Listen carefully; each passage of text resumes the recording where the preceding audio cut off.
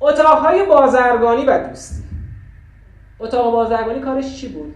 کار اتاق بازرگانی این بود که یه تاجر بهش مراجعه کنه بگه به طور مثال می‌خوام از کشور هند موز وارد ایران بکنم. این اتاق بازرگانی با اتاق بازرگانی هند ارتباط می‌گرفت. بهش اطلاع می‌داد که ما موز می‌خوایم. هند میومد توی بردش توی سیستم خودش اعلام می‌کرد به تجارش که یکی از ایران درخواست داده. چی باش کار می‌کنه؟ و این ارتباط بین دو طرف برقرار میشه.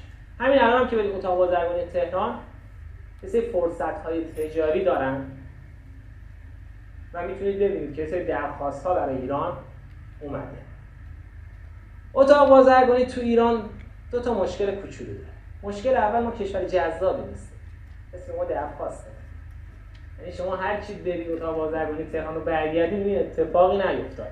به هر حال مثلا شما الان برید ترکیه بگید ما می‌خوایم از ایران جنس بگیریم. ما با این کشور کار نمی‌کنیم بغل گوشمون رو گفتم ایراد دومش ما یه سازمان توطعه صادرات داریم و واردات. که این سازمان توطعه وقتی شما درخواست می‌دید یه تعداد قوی اونجا نشستن.